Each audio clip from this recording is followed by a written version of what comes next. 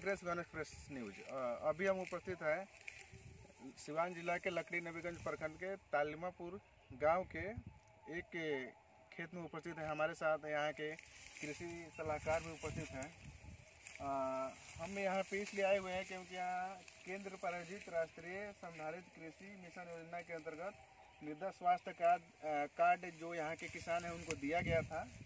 अ, उस उपरांत जो यहाँ फ़सल लगाया गया था। फ़सल लगाने के बाद, जो उसका मापदंड दिया गया था, उसके तहत जो फ़सल तैयार हुई है, उसका मूल्यांकन करने के लिए हम यहाँ पर उपस्थित हैं।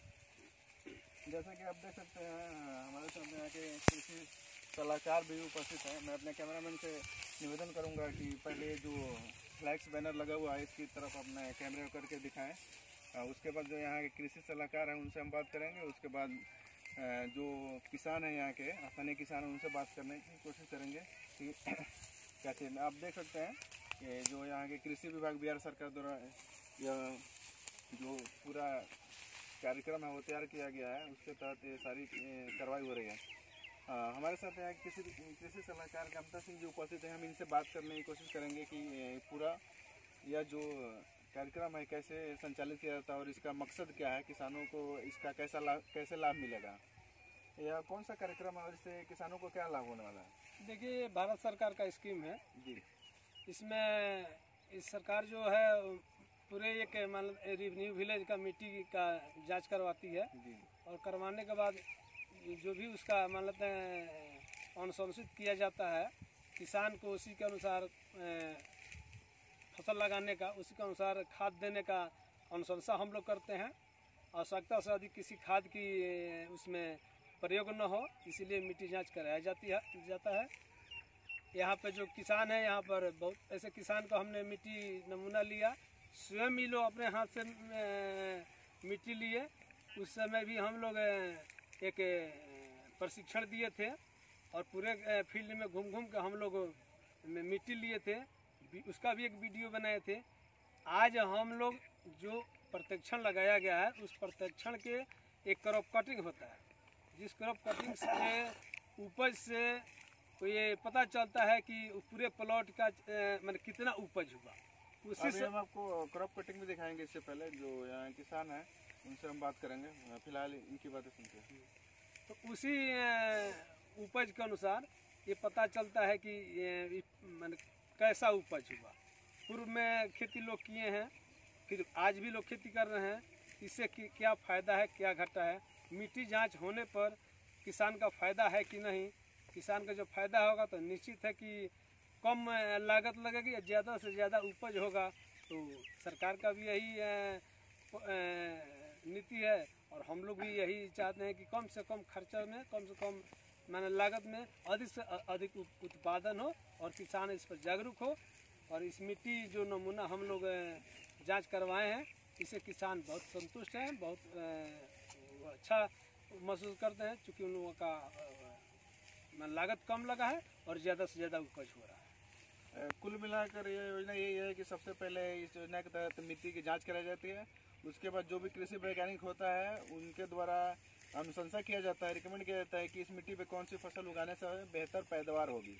उसका उसी के तहत इसकी मिट्टी जाँच इस खेत की मिट्टी जाँच कराई गई है और फिर रिकमेंड किया गया है कि यहाँ गेहूँ की फ़सल लगानी है तो गेहूँ की फ़सल लगाई गई है। अभी हम स्थानीय जो किसान उनसे बात करने की कोशिश करेंगे क्या सच में ऐसा हुआ है कि नहीं। आपका नाम क्या है? शंकर सिंह।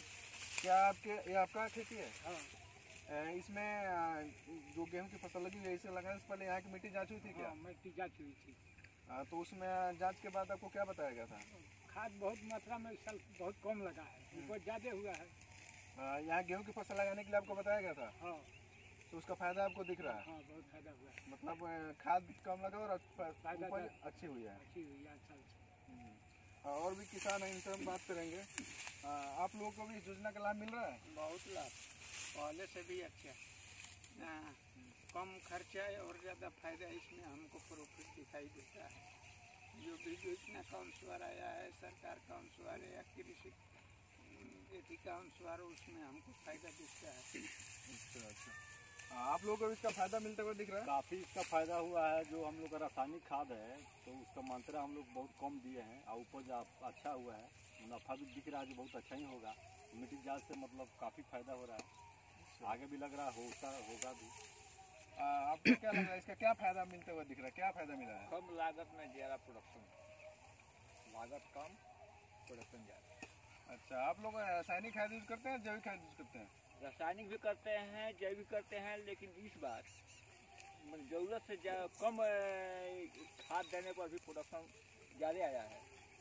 आ, बिल्कुल जो भी जितने लोगों से हमने बात की स्पष्ट दिख रहा है कि इस योजना का लाभ बहुत सारा मिलता हुआ दिख रहा है।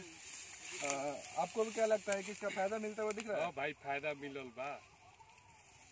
सब जितने भी किसान हैं, हमने सबसे बात करी सब यही बोल रहे हैं कि इसका फ़ायदा मिला हुआ है। क्योंकि सीधी सी बात है जो जो मिट्टी जिस फ़सल के लिए बनी अगर उसका वहाँ पे रोपाई बुआई की जाए तो आ, मतलब अच्छा उत्पादन होना सुनिश्चित है। अभी कृषि सलाहकार से हम बताएँगे कि वो जो क्रॉप कटिंग का बता रहे थे उसके बारे में बताएँ और उसे दिखाएँ हमें। देखिए एक किसी भी प्लॉट का एक मानदंड होता है। उसमें 10 गुने पाँच मीटर का एक एरिया चिन्हित किया जाता है खेत के अनुसार। जैसे कि लंबा अगर खेत हुआ तो डेग से नाप लिया जाता है। चौड़ा खेत, उसको डेग से नाप लिया जाता है। लंबाई में तेरह डेग और चौड़ाई में सात डेग घटाकर उसका एक फार्मूला है, वहाँ पर क्रॉप कटिंग। दस गुने पाँच मीटर कराया जाता है। और जो उपज होता है, उस उपज को, माने थ्रेसिंग किया जाता है, उसके उपज को जब तोला जाता है उसी तोल के अनुसार पूरा उसका मान मापदंड मिलता है कि इसमें क्या मानते हैं मतलब कुल मिला के कटिंग का फॉर्मूला ये है कि एक एरिया चिन्हित करके उसके जो फ़सल है उसकी कटाई की जाती है उसकी थ्रेसिंग की जाती है उसके उपरांत जो भी उसकी अनाज उत्पादन होती है उसकी क्षमता का मूल्यांकन किया जाता है कि एक कट्ठा में इतना उत्पादन हुआ अभी हम इनसे बताएँगे कि एक बार क्रॉप कटिंग दिखाएँ। कैमरा मैन से रिक्वेस्ट हैं। आप देख सकते हैं ये चारों तरफ़ से जो एक एरिया चिन्हित किया है दस गुना फाइव का। चिन्हित करके आप देख सकते हैं इसके यहाँ की कटाई की जाएगी और कटाई के उपरांत इसका थ्रेसिंग किया जाएगा उसके बाद जो भी उत्पादन होगा उससे इस पूरे खेत का मूल्यांकन किया जाएगा कि इस खेत में पर कट्ठा के हिसाब से कितना गेहूँ या अनाज का उत्पादन होगा। तो अभी आपने देख लिया हम यहाँ उपस्थित हैं और जो भी यहाँ कृषि सलाहकार थे हम उनसे हमने बात करी और इस संदर्भ में और किसानों से भी बात करी और इसका काफ़ी किसानों को लाभ मिलते हुए दिख रहा है। तो कुल मिलाकर सरकार की योजना कामयाब रही है। और भी हमें हमारे साथ जुड़ने के लिए हमें फॉलो करें ट्विटर इंस्टा फेसबुक और साथ ही यूट्यूब को हमें सब्सक्राइब कर सकते हैं। धन्यवाद।